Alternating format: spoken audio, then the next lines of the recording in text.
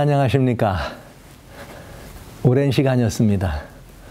선한 사마리아 사람 이야기를 여러분에게 선보이면서 스님도 아시는 이야기로 여러분을 대면한 것이 오늘 13번째 시간이 되겠습니다. 어, 시작이 절반이라 그러더니 그냥 후떡 지나가네요. 예, 열세주가 이렇게 이, 벌써 손살같이 손쉽게 지나갔습니다.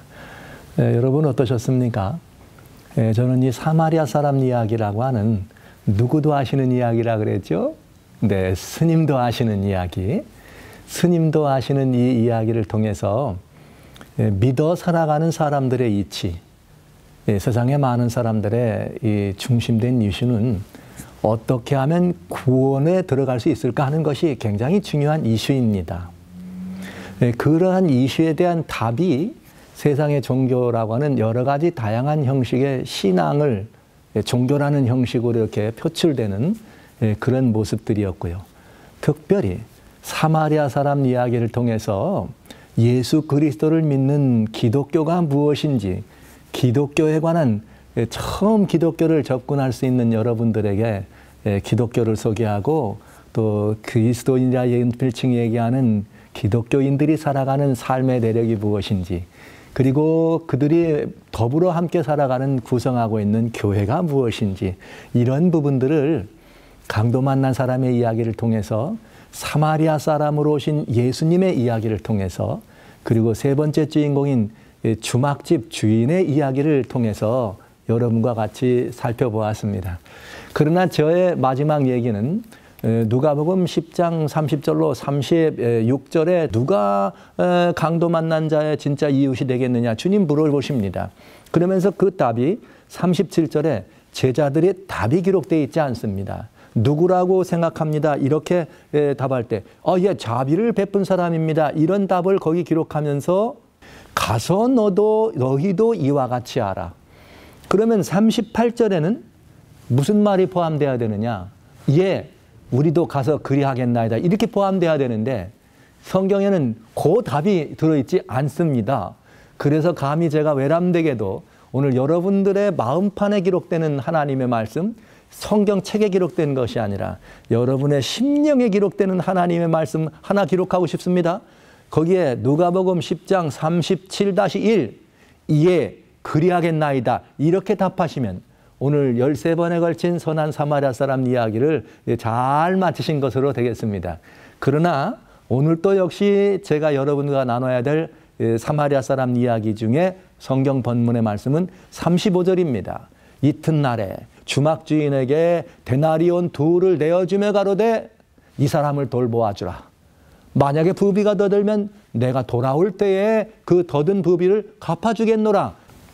네, 이것이 예수님의 재림 이야기라고 하는 것을 여러분에게 약속하신 재림에 관한 이야기라는 것을 여러분에게 말씀을 드렸어요. 그런데 문제는 예수님이 다시 오신다는 약속을 하셨습니다.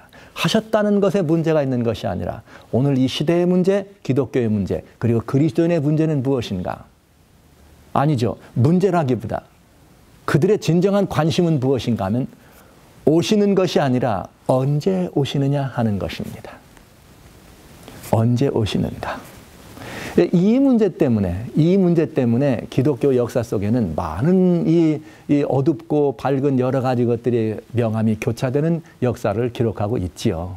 왜냐하면 제자들도 제자들 당대 제자들이 머물러 있는 당대 주님이 오시기를 기다렸고 그렇게 할 줄로 믿었습니다. 인류 역사는 거침없이 종종 종종 늘 거의 정기적인 것처럼 주기적으로 이렇게 그 말씀, 내가 다시 오신다는 이 말씀 때문에 사로잡혀서 날짜를 정해서 소위 시한부 종말론이라고 하는 시간을 정하고 날을 정해서 그것을 믿고 따르는 사람들 일부가 스스로의 어떤 그 기다림을 갖다가 다른 방법으로 이 승화시켜서 스스로 모두가 다 함께 공동 이 자결을 한다든지 하는 이런 비참한 최후들을 우리는 역사 속에서 종종 보았습니다. 종종 보아왔습니다. 지금도 이런 일들은 지금도 여전히 우리 주변에 일어나고 있는 것이죠. 그래서 오늘 다시 돌아오시는 예수님 얘기가 오늘 저의 제목은 그러면 주님은 언제 오시는 분일까? 언제 오시는 것일까? 이 부분, 언제 주님은 오시는가 하는 이 이야기를 여러분과 같이 짤막한 시간에 대답으로 나눠드리기로 원합니다. 네, 먼저 주님이 오시는 날에 대한 이야기는 성경에 아주 명확하게 기록이 되어 있습니다. 하나님의 말씀 마태복음 24장 36절에는 뭐라 말씀하셨는가? 그 날과 그 시에 대하여는 무엇이라고요? 그 날과 그 시에 대하여는 아무도 알 수가 없습니다. 아들도 천사도 아무도 모릅니다. 오로지 아버지 하나님만이 아시는 그 시간을 하나님만이 아신다. 이렇게 기록되어 있습니다. 우리가 꼭 알 수 있다면, 우리가 꼭 알 수 있다면, 네, 그것은 이 때와 기한은 우리들에게 주어진 것이 아니기 때문에 혹 알 수 있다면이라고 하는 전제는 매우 위험합니다. 그래서 예수님께서 그래서 예수님께서 제자들에게 그런 말씀을 하셨을 뿐만 아니라 십자가에 달려 돌아가시고 부활하십니다. 그리고 이 제자들과 같이 한 40여일 동안 함께 하시다가 승천하십니다. 그 승천하실 때 사도행전 1장 7절에 보면 때와 기한은 너희가 알 바 아니라 알려고 하지 말라 이 말이야. 신경 쓰지 말아라 이거예요. 어떤 것도 그것에 대하여 어떤 것들을 정하거나 그것들에 대한 때와 기간에 대한 너희들은 관심 갖지 말아달라. 왜냐? 그것은 오직 아버지 하나님의 권한에 두셨다. 이렇게 표현되어 있습니다. 그러니까 성경의 원칙으로 말하자면 기독교의 중요한 원리는 예수 그리스도께서 오시는 것은 yes 언제든지 오시게 되어 있습니다. 그러나 어느 날 어느 시에 오시는 것에 대해서는 우리들에게 알려진 바가 없습니다. 이것이 답입니다. 어느 누구든 어디서든 이것을 정하는 것은 그것은 하나님의 뜻을 저버리는 것이 되겠습니다. 그러나 문제는 이것입니다. 그러면 우리들이 그날과 그 시를 모르도록 하신 채 그날과 그 시를 모르도록 한 채 언제 오시는지에 대하여 무지하고 흑암 가운데 사람들을 이렇게 묻어 놓으시는 것이 아버지의 뜻이었을까요? 그것이 재림의 주인이신 예수님의 뜻이었을까요? 그렇지 않다는 얘기죠. 주님은 날과 시가 아니라 우리들에게 다른 방법으로 주님이 오시는 것을 알게 되시기를 바라셨습니다. 예, 이 이야기가 하나님 말씀 마태복음 24장에 1절로 2절에 이렇게 기록되어 있지요.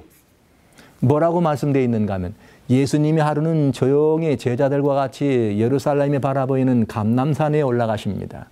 그 감남산 위에 올라가셔서 예수님께서 제자들과 같이 앉았을 때 주님이 이제 예루살렘의 운명에 대하여 인류의 운명에 대하여 말씀을 나눴더니 제자들이 많이 궁금합니다.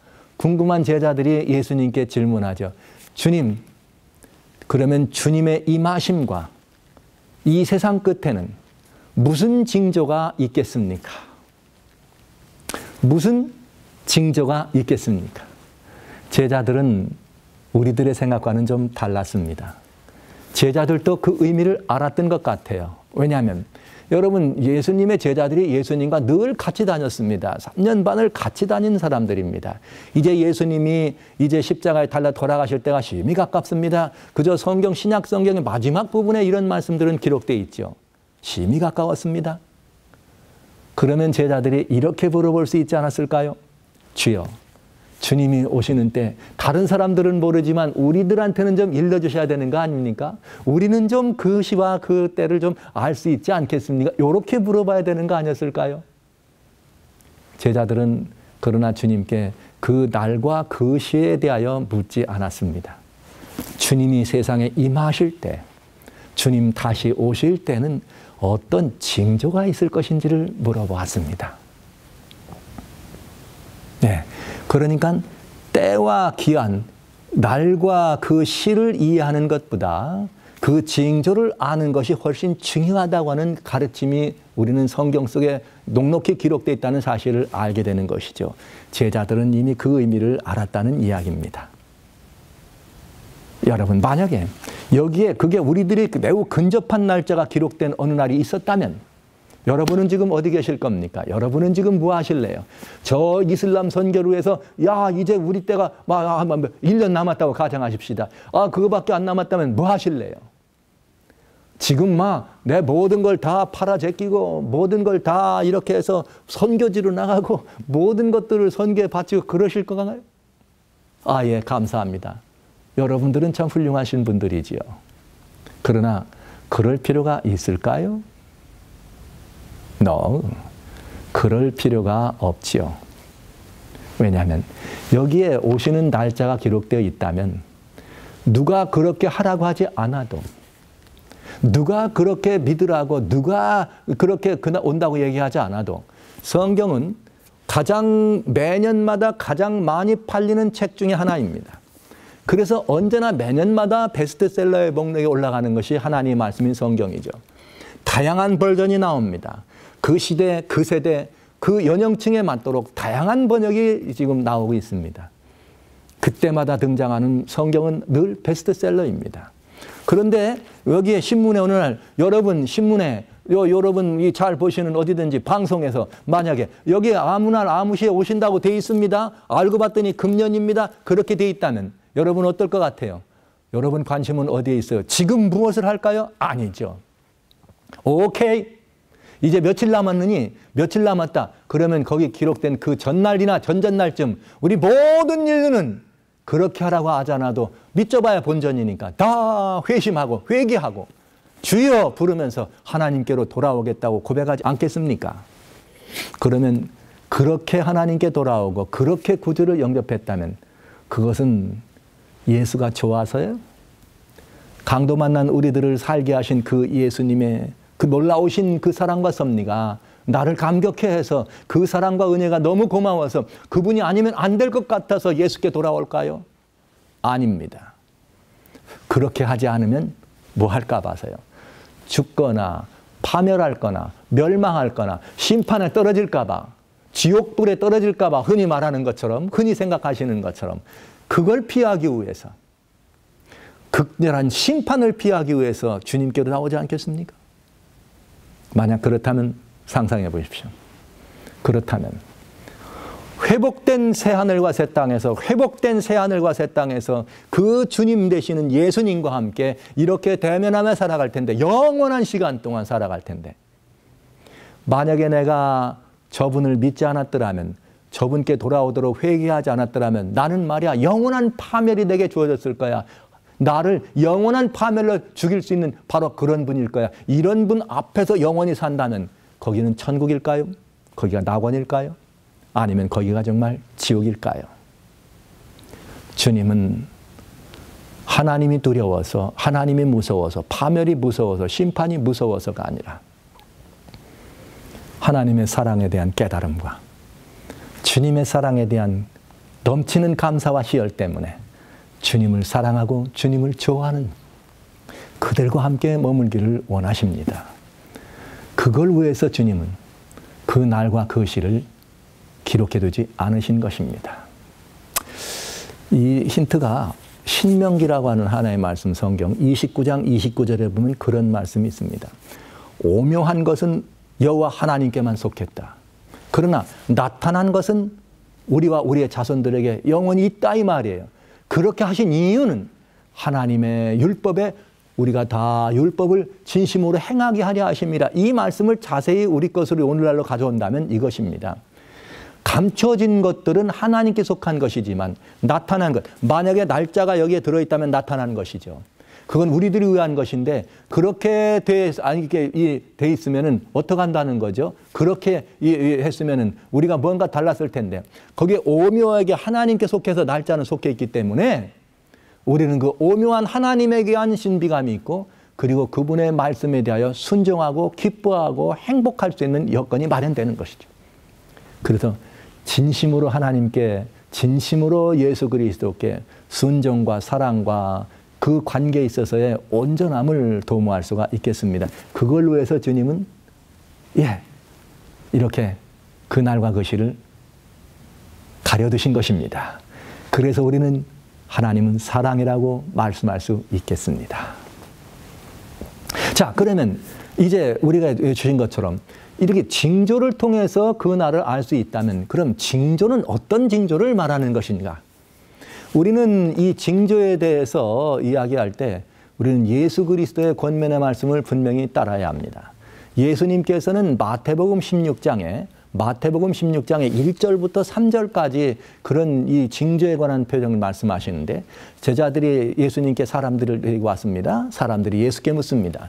하늘로서 오는 표적이 무엇입니까? 이렇게 물어봅니다. 그랬더니 예수님은 답하십니다. 너희가 저녁에 하늘이 붉으면 내일은 날이 좋겠다 하고 아침에 하늘이 붉으면 오늘은 날이 굳겠다 하니 너희가 어떻게 천기는 그렇게 구분할 줄 알면서 시대의 징조, 때의 징조는 이 때의 이 모든 이 상황들이나 징조들은 구분할 줄 모르느냐.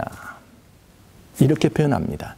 그러니까 거기에 두 개의 징조가 들어 있습니다. 하나는 천기, 하늘의 징조입니다. 또 다른 하나는 뭔가 때 이런 그 사람의 때 형편, 때 징조, 이 때에 일어나는 여러 가지 일들은 시대에 대한 징조를 말하는 것이죠. 그러면 오늘 우리들 모두의 관심은 언제 오시는가 하는 것에 관심이고 그리고 우리가 그 징조가 무엇인지를 아는 것은 매우 중요한 것이죠. 그래서 그 징조를 알면 우리는 그 나라가 많은 사람들이 얘기하는 것처럼 도적같이 임한다. 노, 아니죠. 알고 대비하면 도적같이 오는 거 아니죠. 그래서 우리는 도적같이 맞이 아니하고 준비된 마음으로 주님을 기다릴 수가 있지 않겠습니까? 그래서 징조들을 보는 것입니다. 그런데 징조는 몇 가지가 있다고요? 천기, 하늘에 스며진 징조가 있는가 하면 때 징조, 이 시대의 징조가 있다는 것을 말씀드렸습니다. 그러면 먼저 혹 오늘 저는 이 두 가지를 다 말씀드릴 수는 없습니다. 오늘은 모두에게 보편적으로 알려져 있고 모두가 보편적으로 알 수 있는 천기에 대한 것 오늘 말씀드리도록 하겠습니다. 이 천기, 즉 하늘의 징조에 대해서 이 징조는 하나님께서 언제부터 마련해 주셨느냐? 인류를 지으시고 천지 창조하실 때부터 하나님은 그 징조를 주십니다. 우리들에게 징조로 말씀하시겠다고 약속하신 것입니다. 그것이 바로 하나님 말씀 창세기, 인류의 창조의 내력이 기록되어 있는 창세기 하나님 말씀 1장 14절이라고 하는 곳에 이렇게 말씀이 있습니다. 하늘에 광명이 있습니다. 그런데 이 광명으로 주야를 나뉘게 합니다. 그런데 이 광명으로 우리를 나눠주면서 징조와 사시와 이렇게 징조와 연한과 이렇게 이 사시 일자를 이루도록 하십니다. 그러니까 하나님께서 징조라는 것이 사시와 일자와 연한을 이루는 것보다 더 먼저의 의미로 뭘 주셨다고요? 태양계, 태양과 달과 별들을 주셨다 이 말입니다. 즉 이 말은 태양에다가 이 태양계에다가 징조를 주셔서 하나님은 그 징조로 말씀하신다는 이야기죠. 그러면 태양이라고 하는 것은 모두에게 공개된 것이기 때문에 모두가 다 알 수 있는 일이라 하는 것 아닙니까? 그러면 하나님은 이 모든 것들을 그렇게 주셨기 때문에 우리는 태양의 징조를 둔 것은 아주 중요한 의미가 되겠습니다. 보편적인 하나님의 사랑을 맛볼 수가 있으니까 말이죠. 그런데 여러분, 창조 때만 그런 것이 아니에요. 예수께서 이 땅에 오셔서 누가복음 21장에 누가복음 21장 25절로 27절의 말씀을 보면 1월 성신에는 징조가 있겠다. 어디에요? 해와 달과 별자리에 징조가 있겠다 그랬어요. 그리고 땅에서는 사람들이 바다와 파도에 우는 소리를 인하여 놀라고 기절할 만큼 무서워한다. 그리고 다시 말씀하십니다. 하늘의 권능들이 흔들리겠다. 그러니까 예수님이 재림하시고 다시 오시기 직전에도 태양계 허락하신 징조가 분명하겠다 얘기하는 것입니다. 그러니까 이것은 어떻게 우리가 피할 수 없는 도리가 된 것이죠. 오늘 이 시대에 많은 사람들이 굉장히 두려워하는 일이 있습니다. 가장 핫된 이슈는 무엇인가 하면 클라이밋 체인지, 기후의 변화입니다. 그래서 글로벌 워밍, 지구가 더워지고 있다는 것이죠. 이제 우리는 2016년, 2017년, 2015년부터 지속적으로 매년마다 이루어지는 역사적 사건 중에 하나, 가장 핫한 이슈는 뭐냐? 해수면이 올라가고 있다는 거죠. 왜요? 해수면의 온도가 2도 상승했기 때문에 그렇다는 것입니다. 2도가 상승하면 위험하다는 것입니다. 해수면의 온도가 2도가 상승하는 것을 막아야 된다는 것입니다. 그래서 세계 195개국의 정상들이 2015년 12월에 불란서 파리에서 모였습니다. 그리고 파리 협약에 사인을 합니다. 뭐 하자고요? 이렇게 날이 더워지는 이유는 탄소들을 많이 배출하는 이유 때문에 그러니 저탄소 정책, 탄소 배출을 어떻게든 줄여보자고 하는 뜻에서 그런 일을 한 것입니다. 자, 여러분, 문제는 이것입니다.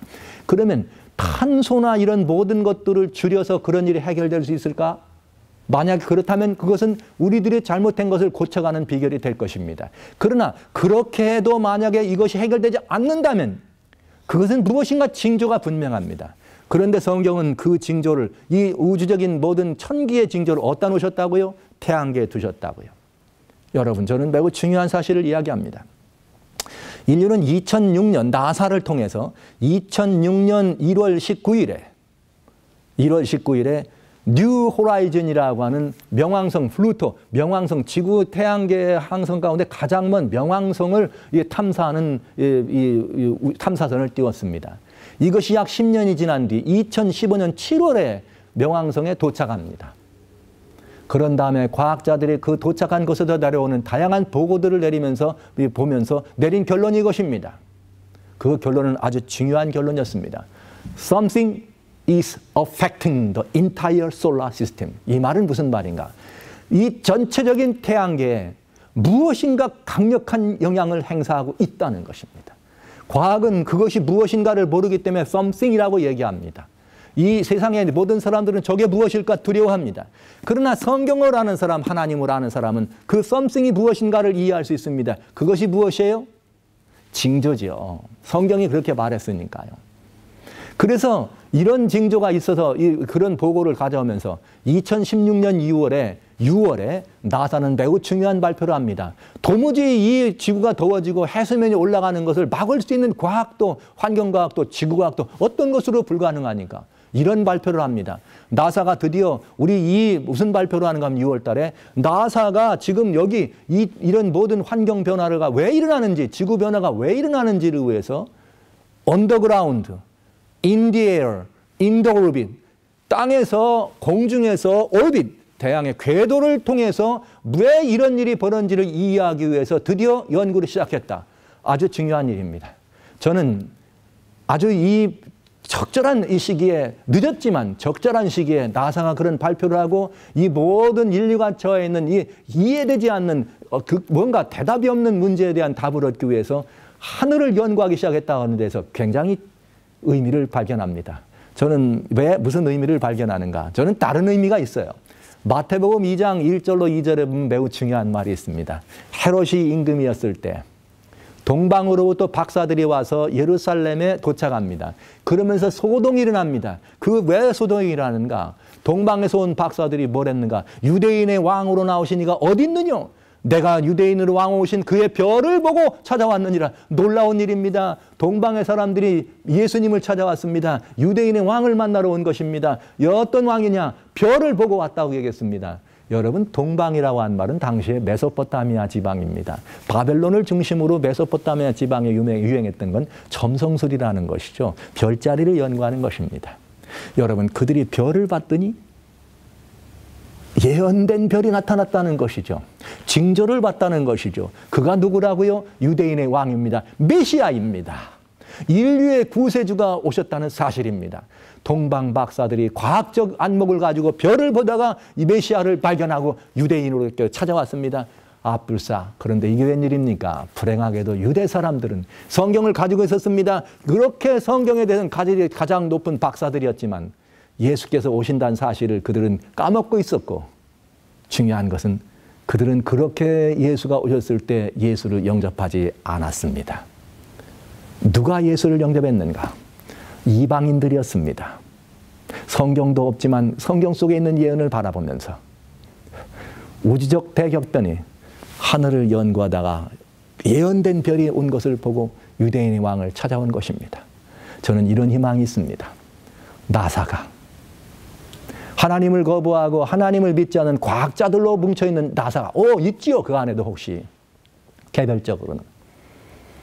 인류의 산적한 많은 문제 무너져가고 닫혀가는 이 변경되는 변화된 이 기후를 문제를 살피기 위해서 하늘을 연구하고 올빛을 연구하다가 성경이 말한 것처럼 징조를 주었다는 그 징조를 혹시 발견하면 동방박사처럼 오, 우리가 지금 징조를 보았습니다. 하나님이 만들어 놓으신 징조입니다. 예수께서 오신다는 징조입니다. 할렐루야. 이걸 발견하고 온 인류에게 우리의 살 길은 저탄소 정책을 말하는 195개, 197개 정상이 사인하는 데 있는 것이 아니라 다시 오시는 예수께로 돌아가는 것이 우리의 살 길이다. 이렇게 고백하고 예수께로 나오고 예수를 경배하게 찾아오는 옛날의 동방박사와 같은 오늘날 이 시대의 나사의 과학자들이 있게 되기를 소원하는 것이죠. 얼마나 놀라운 희망입니까?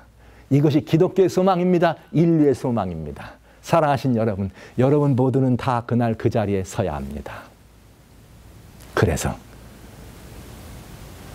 물이 바다 덮음처럼 온 땅이 사랑과 평화와 행복으로 가득 찬 새 세상, 새 나라가 도래하는 기쁨을 같이 맞이해야 되지 않겠습니까?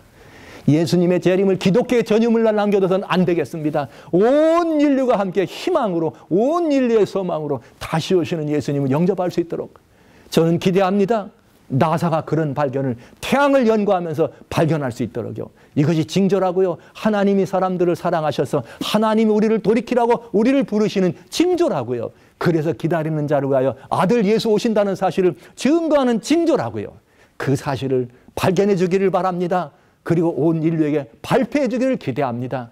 그리고 지금 예수를 기다리는 사람, 예수를 아는 사람들과 더불어 함께 예수께로 돌아와 예수께로 경배하며 하나님을 경배하며 하나님께로 돌아온 놀라운 우주적 회심이 놀라운 지구적 회심의 운동이 정말 열화와 같이 일어나서 그처럼 우리와 달려 돌아가신 예수님을 영광스럽게 그분의 재림을 맞이하는 특권의 자리에 우리 모두가 설 수 있게 되길 진심으로 소원합니다. 마라나타! 주님은 다시 오십니다. 그리고 때가 되었습니다. 준비해 주시기를 소원합니다. 마라나타